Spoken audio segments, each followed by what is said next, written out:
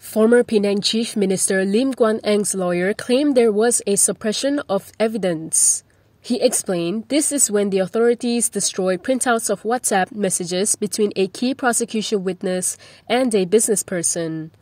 Defense counsel Gobind Singh Deo made the allegation after Deputy Public Prosecutor Wan Shaharuddin Wan Ladin told the Kuala Lumpur Sessions Court today about what happened to the message printouts.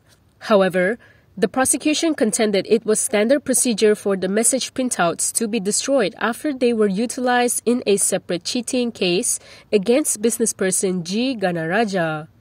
Gobind had previously sought the message printouts, which was the basis of a Shah Alam Sessions Court case against Gnanaraja, as it was allegedly critical in the defense's case that Lim was not involved in the graft case related to the Penang Undersea Tunnel project.